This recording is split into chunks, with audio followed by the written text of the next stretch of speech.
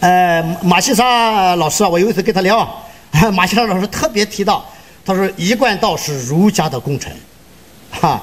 那么这里边呢，呃，佛道教它它这个宗教形式强一些，一贯道它主要是一种教化体系。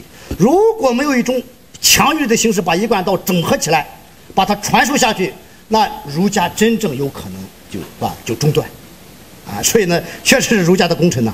他避免在国外宗教法规与环境的特殊背景下，由于三教分离所导致的中华文化支离破碎和魂飞魄散的结局，有可能都导致这么一一个结局。马来西亚，呃，参观了四个家庭佛堂，啊，很受教益，因为家庭是传统儒家的主要道场。钱穆先生讲得好，他说中国人传统中国人没有一个教堂，因为家庭就是我们的教堂。为什么说家庭就是中国人的教堂呢？最关键的是有祖先牌位，是吧？我们有祠堂，有家庙，啊，所以中国人哪怕在千里之外，也要回家过年，回家祭祖啊。他这是个信仰，这是个人生信仰问题。因为有了一贯道，有了各种华人文化社团和文化宗教的教化，最终落地生根了。啊，中华文化落地生根了，他就免于是吧？中呃，那么华人在外边最后。脱离中华文化啊，他和祖宗的文化不再有联系，他避免了这么一种悲剧的发生。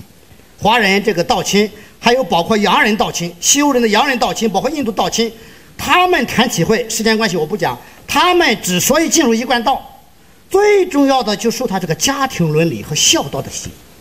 那么由此来看，孝道和家庭伦理也是普世价值。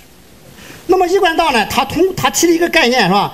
他他在社区建这个道场，建道堂，他把社区又变成道场了，在社区里边有各种教学活动，各种哈文化活动。五年进修班教育的目标啊，我把它归纳为三条：复兴道德，这是一条；终身学习，啊，再个就是学修讲办行，啊，我这三条，啊，那么这三条恰恰是中华文化的一个真谛，它不是知识教育。啊，它是要知行合一的，知行合一是吧？才是这个呃中华传统文化的根本精神。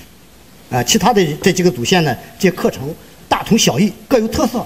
在我们我们在考察的时候啊，赵书记给我问过一个问题啊，我我现在记得很清楚。啊，在马来西亚，他说为什么一贯道道亲具有这么强烈的传教的这么一种呃这个愿力？儒家虽然入世，他的精神境界是很高的。杀身成仁，舍生取义，而大乘佛学呢？啊，它是这个，它是一种，它不是为了个人了生死，它是要普度众生，是吧？那么道家也有很高的境界。那么这几个东西分散的时候，它各有各的力量。它一旦融合，我认为它产生了一个新的新新的信仰精神。这个精神既具有儒家啊那种呃呃这个以天下为己任，儒家是很刚的。啊，儒家是非常刚刚强进，他强调进取；佛家呢，他有佛教这个义理，说空，哎，虽然空，他很超越，他很高超，很高妙。虽然空呢，是吧？他菩萨愿、菩萨精神是，如果一个人不救，呃，他说我我要回去救人，我也不成佛。